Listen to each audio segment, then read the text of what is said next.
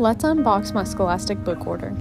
The first book I got is Front Desk, which is a book that I'm really excited about reading myself. Then I got Diary of a Wimpy Kid Old School. Next, I got this three pack of Dragon Girls books. My girls are loving these books.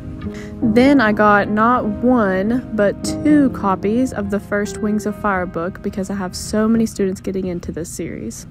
Then I got a Goosebumps book. Then another Dragon Girls book. One of my students ordered the first Harry Potter book. I love Harry Potter, so I always love seeing students get those books. Then I got a Pokemon book. All my kids love Pokemon. Who would win a freebie pack? Thanks, Scholastic. Then I got this tin of Goosebumps books because one of my students ordered this for their Scholastic order. I think this is so cool. I would love to have one myself. And that's my Scholastic book order.